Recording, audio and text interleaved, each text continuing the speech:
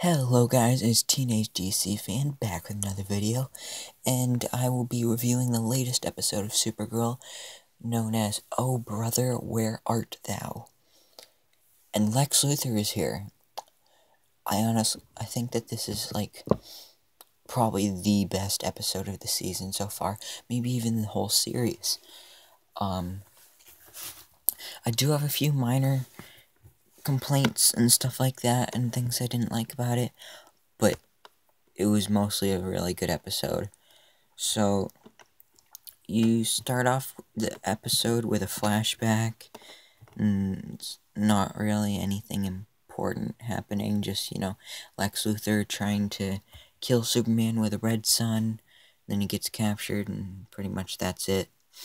And then goes back to present day um, Lex shows up at Lena's house, and we find out that he is in a wheelchair because he accidentally gave himself cancer from um, from kryptonite poisoning, I guess.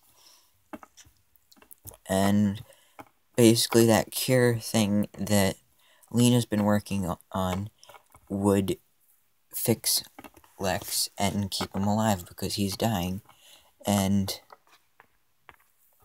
and before I continue on with this Lex Luthor storyline, I'm going to go back to the other um one of the other storylines in the episode, which is um with Kara and J'onn and Manchester.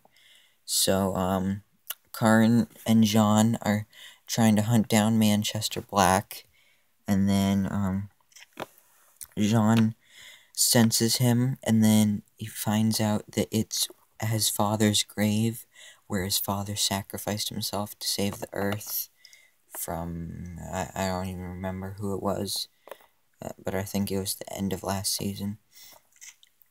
And anyway, so Manchester lit his grave on fire so then um, J'onn gets mad at him. They get in this huge fight, and then um, he disappears. Then later on, they're at like I'm not too sure where it is. I can't remember for sure, but um, but they basically end up fighting um, Manchester again, and we do get to see Jean transform into his Martian form, which I really like.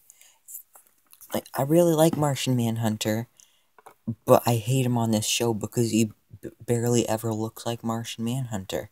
Like he's always in his human form.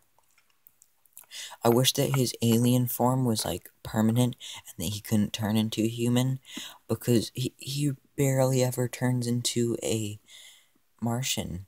Like, I wish that at least every time he was like fighting someone, he would turn into a Martian. But no, he's usually just human. And then when we do get to see him in his Martian form, he's in his Martian form for like five seconds. It's so stupid.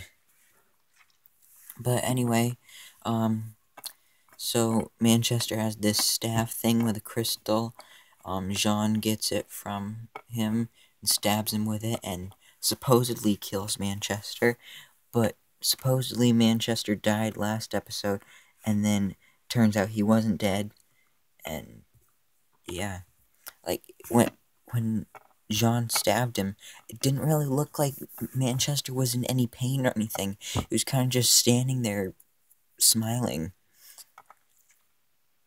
Um, so I don't think he's really dead. Um, and then we'll move on to the other storyline. Oh, and before I move on to that next storyline, um, one thing I'd like to mention that I don't think I mentioned before, but maybe I did. I did not at all expect Jon Cryer to do good as Lex Luthor, but he was fantastic. Like it was so true to the character and very Lex Luthor like. Um like when you hear Lex Luthor, you usually don't think Jon Cryer, but now you do. He nailed it. He, was perfect as the role. Although I would have preferred Michael Rosenbaum back as Lex Luthor because he was so good on Smallville. Literally the best live action Lex Luthor, in my opinion. But Jon Cryer was pretty good too. Um, so yeah, moving on to the next storyline. Um, so James Olsen, or Jimmy Olsen, was shot in the last episode. So he's in the hospital. And then his sister shows up, Kelly, and then um, she decides to go um, to have them go into surgery, even though A Alex says that um, that Lena's working on the cure. So um, Lena's working on the cure too, because that could save Jimmy, James. I'm probably gonna keep calling him Jimmy anyway. So um, yeah. So she's working on the cure. So Alex tells Kelly that, but she doesn't trust Lena because uh, like she broke his heart, broke James's heart. So she doesn't trust her. So she just decides to have them go into surgery.